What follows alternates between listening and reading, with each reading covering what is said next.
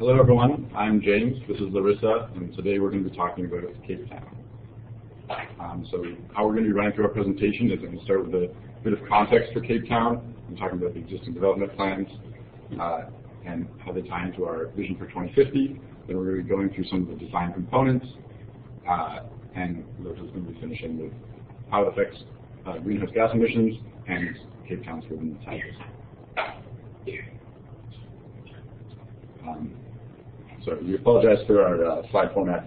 It's a, it's a technical issue with to Google Drive. Um, so for, for Cape Town, it's, as you saw on the, the previous map, the southern tip of Africa. Uh, and here's some, some key stats you want to compare them to your own cities.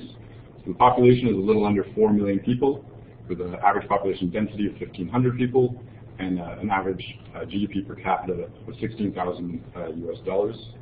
The major industries are manufacturing, shipping, and tourism.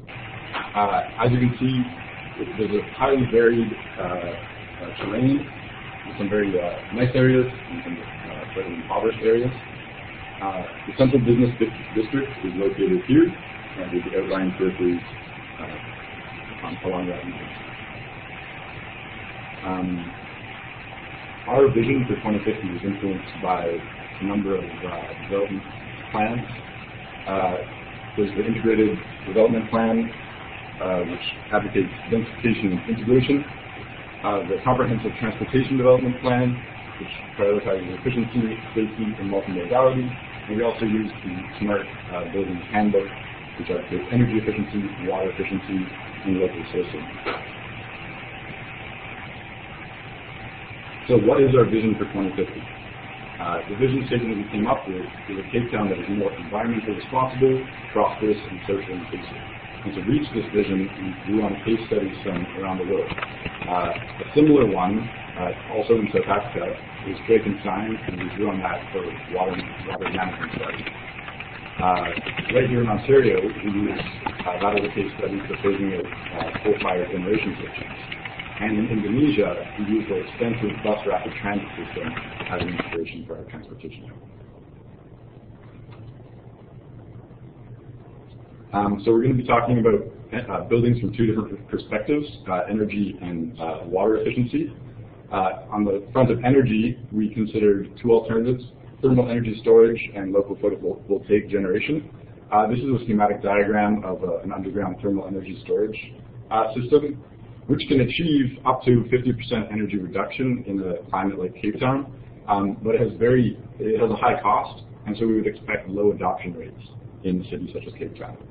Um, and so we prefer the alternative of local photovoltaic generation, uh, which could, if accompanied with a, a storage solution, uh, reach net zero energy um, for residential electricity consumption. But assuming more realistic adoption rates and expenses, it would achieve uh, at least 6% of all uh, residential energy as a reduction. Uh, then in terms of water solutions, uh, we considered uh, rainwater collection and greywater reuse. rainwater collection, collection is good because it's general purpose, it's pictured here in this diagram, and it could reduce up to 40% of residential water demand. Um, but it's also more expensive, whereas gray water is inexpensive and is less of a complicated system, so it could be adopted more readily, uh, and it could reduce up to 35% of residential water demand, which coincidentally would entirely cover needs for irrigation, which is perfect because gray water cannot be stored for long periods of time due to bacterial concerns. Um, now we look at the transportation network in, in Cape Town. Uh, so for public transit, we considered uh, the three major uh, areas. We looked at integrated rapid transit, heavy rail, and the minibus taxi system. For integrated rapid transit system, there's a there's a bus system that's currently being phased in uh, and replacing a conventional bus system. It's called the MyCiTi Bus System. Uh, we propose nine new dedicated bus routes, which you can see on the map here, going north of the city, south, and southeast. Uh, and with the, if we adopted this new plan, it would put 80% of the population within 500 meters of a public transit stop, which is a, it's an international standard. That's very good. Um, in terms of heavy rail, we proposed uh, a single a single line expansion, uh, double track with uh, new three, with three new stations, which would be in the southwest, sorry, yeah, southeast region, which would provide 26,000 riders uh, capacity daily. Uh, and lastly, Cape Town is, is kind of interesting in this, in this regard. Uh, it has an extensive minibus taxi system. Um, and it's, it's a very unreliable service. It's, it's not official. It's just people uh, running around in uh, private vehicles, which can uh, accommodate like a few people. Um, so that's not a very dependable source. So we didn't want to emphasize that, but that can provide an additional 20% uh, capacity for the feeder routes that feed into the, the main system as well. Um, in terms of non-motorized transportation, we were looking at cycling and walking. In terms of cycling, we wanted to prioritize creation of new facilities, increasing the safety of existing facilities, um, and integrating it with the IRT uh, bus system, which has been done in pilot uh, projects and has seen a lot of success so far. In terms of walking, we wanted to upgrade the existing facilities. Uh, currently, there's many streets that only have one sidewalk, or they're very narrow, or sometimes both. Uh, and we wanted to improve the walkability of the city in general, which we did through land use, which I'm going to talk about now. Uh, so Cape Town originally was a, a, radial city. So with the city center here, and then veins running out uh, towards the suburbs. Um, and that was because it was a port city. Uh, and as you can see on this population density map, there's all these highlights here where we're seeing new developments. And so what we want to do is we want to in our vision for 2050, we want to connect them and make it more of a polycentric city. We're going to do that by uh, connecting them with mobility links and having land use intensification at those urban hubs.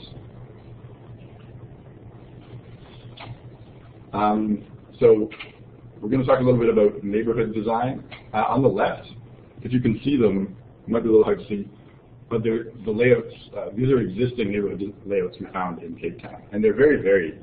On the top left, we have a rectangular block layout.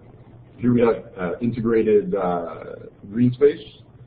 Uh, this one is a, a, looping layout, and on the bottom right we have like a, a bit of a jumble. It's that's that's uh, a neighborhood in a slum. Uh, and so, what we wanted to do was we wanted to rework the, the, the neighborhoods so that they follow something more like this format. So this is a densification along an arterial road.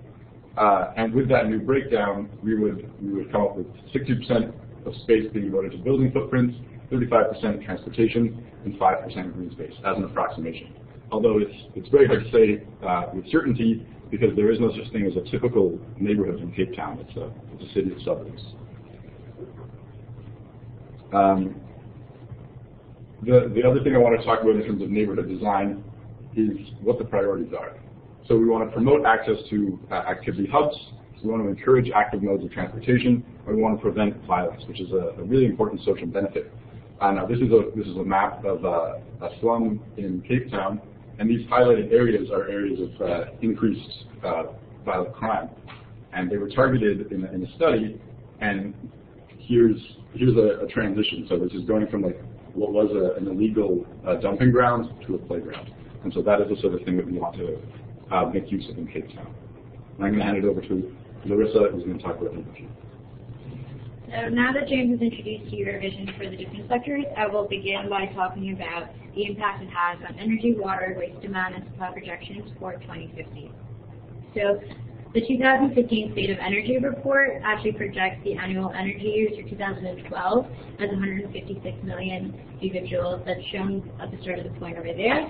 And so you can see that the projections using the vision in their energy report for 2040 scale to 2050 uh, shows expected demands of 400 million, 450 million for business as usual, and then optimum energy future around 300 uh, million gigajoules with the implementation of our strategies that we presented earlier.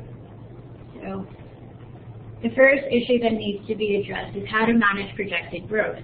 And so we can increase the capacity of supply. However, demand management is more sustainable. So this includes implementing the green building innovations that James spoke about earlier, and also addressing transportation as it accounts for the 64% of total energy consumption in the previous graph.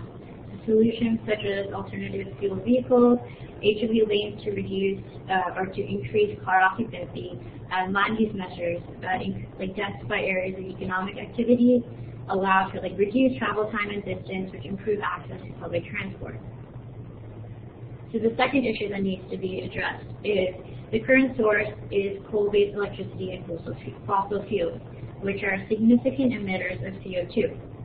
So the solution to this is the diversification of supply. So this graph over here illustrates how to meet the optimum energy future with the composition of these sources illustrated here. And then this graph over here shows the impact of implementing local generation and embedded PV cells to plus the solar neighborhood and thermal energy storage options as discussed by James how we can achieve sustainable energy growth by 2050. So this is the current water consumption profile. So the problem that Cape Town faces is that even with the storage capacity shown in the table, the dams still remain underutilized due to lower rainfall, evaporation losses, and increased consumption. So it is estimated that the Berg River Dam, which is part of the 73% uh, of water supply, will only serve the demand until 2019. So for 2050, new water sources will be utilized to reduce reliance on dams to manage supply. Water from groundwater sources, especially the Table Mountain Group Aquifer, located in the east of Cape Swan Mountains, water recycling and seawater desalination are potential ways of accommodating future water demand. The city's raw water for treatment will be obtained from the mountainous catchment areas, and all wastewater and stormwater will be managed by the greywater irrigation system and rainwater collection that reflect these results in demand. So you can see that greywater irrigation system saves 32.2 uh, gigaliters of uh, water per year, versus rainwater collection can reduce demand by 40, uh, reduce yeah, demand by 40 percent. So there are three municipal land sites in operation with 2.5 million tons of domestic and industrial waste. So the anticipated changes in population growth project waste for 2050 to be around 3 million tons. So demand strategies from the UN can be implemented, which include control of waste quantity through minimization, recovery, avoidance, recycling, reuse, composting, etc. So by 2050, measures such as biogas and RDF will be significant to waste management. So in 2017, Cape Town constructed a biogas plant that converts organic household, municipal, and industrial waste into biomethane, which is also a, re a renewable energy source. In 2016, South Africa created its first RDF plant aimed to reduce waste to landfill. It is expected that expansion will occur in Western Cape with a high potential for applicability for Cape Town in the next 30 years.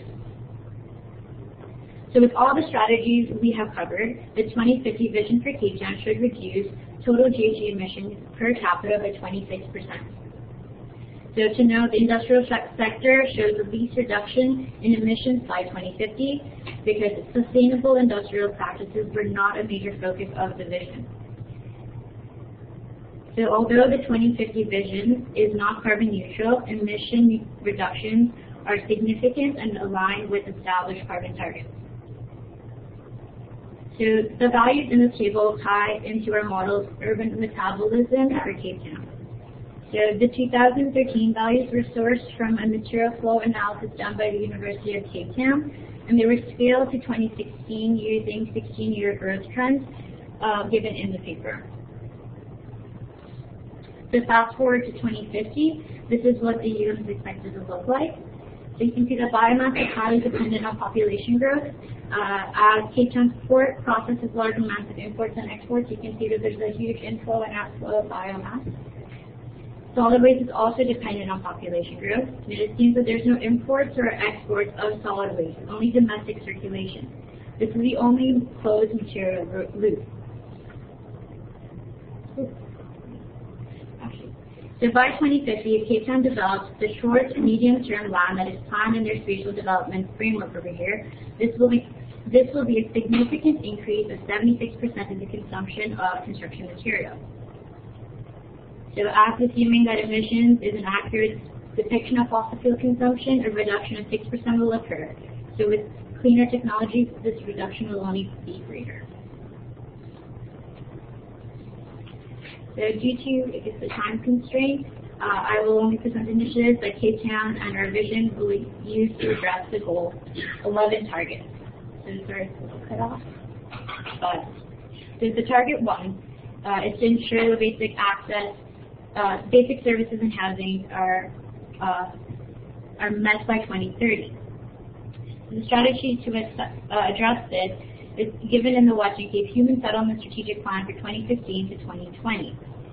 So by 2030, there will be a backlog of priority housing shacks of roughly 234,000. But even with the projected supply, there will be a shortage of around 67,000 houses that will be required to meet the Goal 11 target. This can be supplied by the private sector. Target 2 was addressed by James with the integrated BRT system in the metro rail. 80% of the population will live roughly uh, five, less than 500 meters from public transit stops. The Cape Town Spatial Development Framework addresses Target 3, which is to enhance inclusive, sustainable urbanization and capacity for participatory, participatory integrated, and sustainable human settlement planning and management in all countries. The Target 4 will be addressed, addressed by a uh, few of these strategies. The cultural heritage is also addressed by the Spatial Development Framework national heritage or natural heritage is protected by the IMEP, introduces sectoral approaches to address specific environmental issues for 2020, and on a regional scale, the city has signed an agreement for the Cape Action for People and Environment. So Target 5 will be addressed with the Disaster Management Act that forms the Disaster Risk Management uh, center plan for City of Cape Town. So Cape Town is exposed to a wide range of weather hazards and coastal threats, including drought, cyclones, and severe storms. It poses a risk for widespread hardship and devastation. So this act provides for an integrated and coordinated disaster risk management policy that focuses on preventing or reducing the risk of disasters, mitigating the severity of disasters, preparedness, and rapid, rapid effective response to disasters and post disaster recovery. So the Khayelitsha air pollution strategy will address the most uh, pollutant-dense area of Cape Town. And Target 7 is also addressed by the Spatial Development Framework. And you can see that the green and public spaces are, uh, are envisioned in this format Cape Town. And then Target 8 uh, is addressed by the multi-accessibility grid design and development corridor in transportation plan. And target 9 is also addressed by the Disaster Management Act. And target 10, uh, of building sustainable resilient buildings, is addressed in Smart Building Handbook with a few principles of material uh, of material selection. So after showing how the city can address Sustainable Development Goals presented by the UN, I hope that you can see how these strategies strengthen our overall vision for the infrastructure of Cape Town by 2050. Thank you.